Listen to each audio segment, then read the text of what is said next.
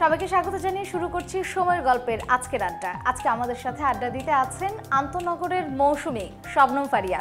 কেমন আছেন আপু? আমি ভালো আছি আর আপনাদেরকে পেয়ে আরও ভালো লাগছে। আন্তনগরের স্ট্রিমিং এবং রিভিউ দুটো মিলিয়ে সারা কেমন পাচ্ছেন?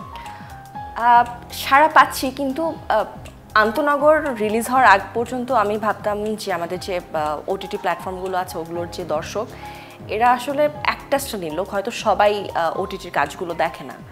কিন্তু এটা রিলিজের পর আমি বুঝলাম যে না আসলে সব শ্রেণির সব পেশার মানুষজনই আসলে এখন ওটিটির দর্শক এবং তারা কাজ দেখে এবং কাজের রিভিউও দেয় যে ভালো হচ্ছে বা কেমন হচ্ছে বা সমালোচনাও করে এবং সেটা গঠনমূলক সমালোচনা যেটাকে আমি খুবই অ্যাপ্রিসিয়েট করি।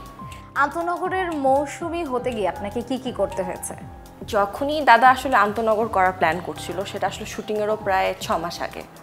তো তখনই দাদা আমার সাথে কথা বলল যে ফারিয়া আমি এরকম একটা গল্প ভাবছি তুমি কি কাজ করতে চাও নাকি? তা আমি বললাম যে, অবশ্যই, কারণ আমার জন্য একটু ডিফারেন্ট কারণ দাদা একটু ডাউটে ছিল, কারণ এখন তো আমি কাজ খুব কম করি এবং খুবই স্পেসিফিক আমি কাজের ব্যাপারে এখন, কারণ সেজন্য দাদা জিজ্ঞেস করছ, তুমি কি করবে নাকি?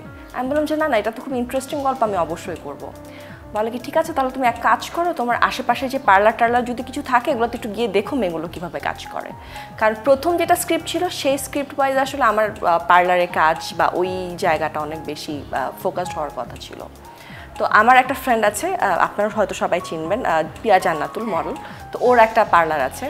তো আমি ওর পার্লারে টানা তিন চার দিন গেলাম এবং ওখানকার মেয়েগুলো খুবই ওরা আমাকে খুবই পছন্দ করে। সো ওরা আমাকে দেখাল যে ওরা কীভাবে ম্যাসাজ করে ফেশিয়াল করে হেয়ার ব্লো ড্রাই করে এগুলো।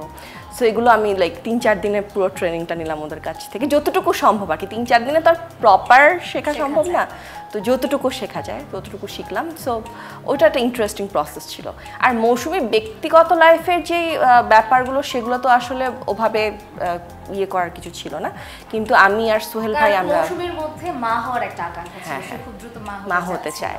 সো ওই ব্যাপারগুলো ওটা ওটা হচ্ছে আমি আর সোহেল ভাই আমরা আলাদা করে দুই তিন দিন রিহার্সাল করেছি। মানে এখন কিন্তু রিহার্সাল খুব কম হয় এটা কিন্তু খুব টাফ সো আমরা আসলে শুটিংয়ের আগে আলাদা দিন বের করে প্রপারলি বেশ কয়েকদিন আমরা রিহার্সাল করেছি। গৌতম কৈরি রুনা খান সোহেল মণ্ডল এবং নাফিসের সাথেও যাদের সাথে আপনি স্ক্রিন শেয়ার করেছেন আন্তনগরে তাদের সবার সাথে আলাদা আলাদা অভিজ্ঞতার কথা জানতে চাইব। তারা কেমন কাজ করেছে আপনার সাথে? রুনাপুর সাথে তো আমি দীর্ঘদিন প্রায় বলা যায় যে কাজ করছি। আমরা একসাথে দুটো পরপর সিরিয়াল করেছি এবং আমি বলব যে ওনার সাথে আমার পারিবারিক সম্পর্কই বলা যায়। তো রুনাপুর সাথে কাজ করা কিন্তু সবসময় খুব আরামের। কারণ রুনাপুর এত ভালো অভিনয় করে রুনাপুর সামনে যিনি অভিনয় করেন মানে বিপরীতে, তার অভিনয় অটোমেটিক্যালি ভালো হয়। কারণ উনি মানে অভিনয় তো অনেকটা হচ্ছে রিয়াকশন করা। সো রুনাপুর সাথে অভিনয় করতে আমার ভীষণ ভালো লাগে। আর নাফিসের সাথে এর আগেও কাজ করেছি, তখন নাফিস একদম ইয়াং জাস্ট ও বের হয়েছে কম্পিটিশন থেকে একটা, তখন। সো তখনের নাফিস আর এখনের নাফিসের মধ্যে কিন্তু আকাশ পাতাল পার্থক্য। এখনের নাফিস অনেক কনফিডেন্ট এবং ও অভিনয়টা ভালো করার যে চেষ্টা, সেটা ওর মধ্যে খুব বেশি। সো আমার ভালো লেগেছে। সোহেল মন্ডল কিন্তু আমাদেরকে বলেছে আপনি খুব প্রিটি কুইটি আর কি কি যেন বিশেষণ দিয়ে বলেছে পারিয়ার সাথে অ্যাক্টিং করার মজাই আলাদা। আপনার কেমন লেগেছে সোহেল মণ্ডলকে সোহেল ভাইয়ের সাথে কাজ করা কিন্তু অ্যাকচুয়ালি অনেক ফান আর আমাকে যারা চেনে তারা তো সব জানে যে আমি ভীষণ দুষ্ট এবং আমি ভীষণ জ্বালাই আমার কো আর্টিস্টদেরকে কারণ, সোহেল ভাই বা রুনাপ, ওনারা হচ্ছে ম্যাথড অ্যাক্টর ওনারা ক্যারেক্টারে থাকে, ওনারা প্রপারলি স্ক্রিপ্ট পড়ে মানে খুব রেডি হয়ে ওনারা আসে। আর আমি কিন্তু খুব স্পন্টেনিয়াস আমি স্ক্রিপ্ট আগে থেকে পড়ে আসি বাট আমি সেটে গিয়ে কখনো ক্যারেক্টারে থাকা থাকি নাই। আমি একে জ্বালাচ্ছি, ওকে জ্বালাচ্ছি, ওর সাথে গল্প করছি অ্যাকশন বললে জাস্ট আমি পারফরমেন্স দিচ্ছি। তো এই সোহেল ভাইকে আমি খুব জ্বালাতাম। ও ক্যারেক্টারে থাকব, খুব সিরিয়াস আর আমি এই জান জানো আজকে কী হয়েছে? এটা এটা। সোহেল ভাই, তুই কি আমাকে ক্যারেক্টারে থাকতে দিবি না? সো এগুলো কিছু ইয়ে ছিল আর কি। আন্তনগর নিয়ে তো কথা বলব এবার একটু অন্য প্রসঙ্গে নিয়ে কথা বলি। এখন এবছর আর কি কি কাজ আসছে? আমার সাথে আরও একটা ওয়েব ফিল্মের কথা চলছে একটা ওয়েব সিরিজেরও কথা চলছে এবং আর একটা সিরিজ সম্ভবত টিভি সিরিয়াল শুরু করব খুব শীঘ্রই। কিন্তু কোনোটাই না আমি এখনই কনফার্মেশন দিতে পারছি না আসলে মানে আমি আমি আমি নিজেই এখন ওভাবে কনফার্ম না। কিন্তু যেটা আপু আগের মতো তো আমি আসলে আর কাজে কখনোই আমার ব্যাক করার ইচ্ছা নেই যে আমি মাসে বাইশ দিন তেইশ দিন শুটিং করব। সেটা মনে হয় আর সম্ভব না। একদমই এখন আমি পারি না আমার খুব টায়ার্ড লাগে। কিন্তু হয়তো এই বছরের পর এই বছরটা গেলে হয়তো কাজের পরিমাণ আরেকটু বাড়াবো আর কি। দেবীর পরে অনেক দিন আপনাকে বড় পর্দায় দেখা যায়নি তো বড় পর্দায় আবার কবে নাগাদ দেখা যাবে? আমিও আমিও ভীষণভাবে অপেক্ষা করছি সত্যি কথা বলতে কিন্তু আসলে আমার কাছে ওরকম স্ক্রিপ্ট আসেনি এর মধ্যে। একটা স্ক্রিপ্ট খুবই ভালো এসেছিল আমিও খুবই ইন্টারেস্টেড ছিলাম কিন্তু কোভিডের জন্য ওটা কাজটা বন্ধ হয়ে যায় সেটা আর হয়নি এর ছাড়া আসলে দেবীটাকে সবাই এত সুন্দর করে গ্রহণ করেছে খুব পছন্দ করেছে খুবই পছন্দ করেছে সো। সো এখন আসলে আমি চাইলে এর থেকে নিচে কাজ করতে পারব না। হয়তো দেবীর সমান কিংবা দেবীর থেকে ভালো কাজ করতে হবে আমাকে। তো সেরকম আসলে কাজ আমার কাছে আসেনি দেবীর পর। তো এই জন্য এটাই হচ্ছে আসলে আমার একটা নিজের বেশ আফসোসের জায়গা বা আমার, আমি বেশ মাঝে মাঝে মনে হয় যে, না আচ্ছা আমি কি একটু ট্রাই করে দেখব নাকি? কিন্তু আসলে খুব ভালো কাজ না হলে আমি ফিল্মে কাজ করতে চাই না। এমনিতে কাজ করতে গেলে স্ক্রিপ্ট কি বেছে বেছে করা হয় নাকি র্যান্ডমলি কাজ করা হয়? না, আমি র্যান্ডমলি খুব কাজ কখনোই করিনি ওভাবে। হয়তো গল্পতে ছাড় দিয়েছি কারণ ডিরেক্টর ভালো বা হয়তো গল্পটা খুব ভালো, বাকিগুলো অ্যাভারেজ তখন করেছি। এরকম ছিল বাট আমি কখনোই একদম অনেক কাজ করতে হবে, আমাকে অনেক টাকা ইনকাম করতে হবে, এরকম টেন্ডেন্সি আমার কখনোই ছিল না। আমি সবসময় একটু, আমি আমার মতো মানে আমি কোনো একটা রিজন আমার থাকতো যে এটা করার পেছনে আমার এটা কারণ। বাট এখন যেটা হয়েছে, এখন আসলে সব কিছু ভালো না হলে আমি আর করতে চাই না। যেহেতু এখন আমি কম কাজ করি। কারণ এখন হয়তো আমি একটা কাজ করলে আমি যাব যেমন আমি অনেকদিন পর আন্তনগরে কাজ করেছি।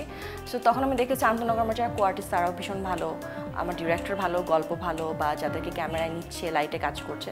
একটা তো ওয়েব ফিল্ম হলো তো ফিল্মেরই সেট ছিল। সব যখন ভালো, তখন মনে হয়েছে যে না, আমি আসলে কাজটা করি। এবার একটু আন্তনগরের প্রসঙ্গে ফেরত আসি। আন্তনগরের বেস্ট কোনো মেমোরি জানতে চাইব? আর এই যে আমি তো সবাইকে জ্বালাতাম, আমার ওটাই মানে বেস্ট পার্ট বলব। আমার জ্বালাতে খুব ভালো লাগে আমার কো দেখে ডিরেক্টরকে কিন্তু বেস্ট পার্ট অ্যাকচুয়ালি ছিল হচ্ছে লাস্ট শুটিংয়ের ঠিক আগে আগে আমি অনেকদিন ইন্ডিয়াতে ছিলাম। আমার একটা সার্জারি হয়েছিল। অ্যান্ড আমার এই সার্জারির জন্য কিন্তু আন্তনগর শুটিং তিনবার পেছাতে হয়েছে। সো লাস্ট টাইম যখন পেছালো, তখন আমি অনেকটা রিস্ক নিয়েই ঢাকায় ব্যাক করি। আমি কখনো ডাক্তার বলছিল যে আমার ফ্লাইং রেস্ট্রিকশন আছে, কারণ আমার ব্লিডিং হতে পারে প্লেন এয়ার প্রেশারে তাই আমি বলেছি যে না, আমাকে যেতেই হবে বিকজ আমার ওয়ার্ক কমিটমেন্ট আছে। আমি অলরেডি তিনবার পিছিয়েছে আর কত আমি কিন্তু পুরো ফ্লাইট এরকম গজ, তুলা সব নিয়ে রেডি ছিলাম যে যে কোনো মুহূর্তে ব্লিডিং হবে আর আমাকে নাক চেপে ধরতে ধরতে হবে। ইনফ্যাক্ট আমি প্লেনেও বলছিলাম যারা ইয়ে ছিল যে কেবিন ক্রুদেরকে যে আমার জন্য আইস রাখবেন, কারণ যদি ব্লিডিং হয় যাতে আমি একটু নাকে আইস ধরতে পারি, এরকম আর কি। তো যেদিন শুটিং ছিল, সেদিন সবাই খুব কনসিয়াস ছিল স্পেশালি আমাদের মেকআপের যে টিম যে বাই চান্স যদি আপু শিখ হয়ে যায়, আমরা এটা করব, সেটা করব। ওদের কাছে গজ দেওয়া ছিল যে রেডি কোনোভাবে। মজার ব্যাপার হচ্ছে শুটিংয়ের আগের দিন আমার ভয়াবহ ব্লিডিং হয়েছে, প্রায় দুই ঘণ্টা এবং ব্লিডিং থামছিল না। শুটিংয়ের দিনকাল শুটিংয়ের পরের দিনও আমার শরীর খুব খারাপ মানে আমি জাস্ট এভাবে ছিলাম নাক থেকে জাস্ট একদম এভাবে ব্লিডিং হচ্ছে। কিন্তু শুটিংয়ের দিন কোনো প্রবলেম নেই, একদম সুস্থ।